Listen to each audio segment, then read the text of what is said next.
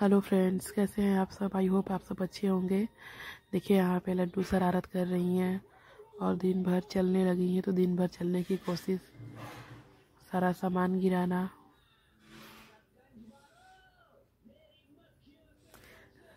सिब्बू भी यहाँ देख रही है हमको और मेरी यहाँ चाय रखी हुई है और मैंने कपड़ा लगा दिए हैं मशीन में।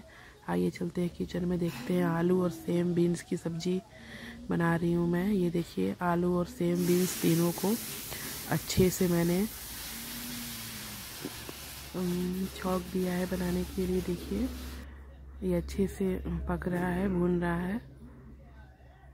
देखिए, कितना अच्छा लग रहा है देखने में, उतना अच्छा खाने में भी लगा है। अब जब ये थोड़ा पक गया है तो उसमें मैं टमाटर डाल के इसको ढक दूँगी। अच्छे से इसको कवर कर दूँगी आलू और सेम से।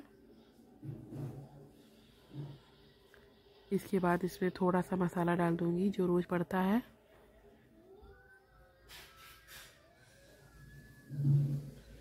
और गरम मसाला तो ज़रूर ही डालना है फ्रेंड्स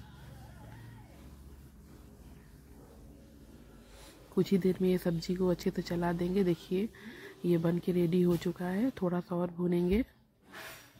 पूड़ी और पराठा दोनों के साथ ये बहुत अच्छा लगता है खाने में। इसको बच्चों को बच्चे के लंच बॉक्स में भी आप दे सकते हैं। ये देखिए यहाँ लड्डू की शरारत। इनको मैंने भुना यहाँ देखिए लड्डू की शरारत। लगा ली है। क्या मुँह में लगाई हैं और मांगने पे बोल रही हूँ दे तो बोलिए नहीं मैं नहीं दूँगी। फ्राई गोभी।